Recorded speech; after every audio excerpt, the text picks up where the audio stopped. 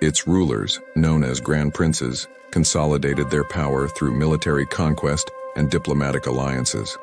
The most famous Grand Prince Vladimir the Great embraced Christianity in 988, a pivotal moment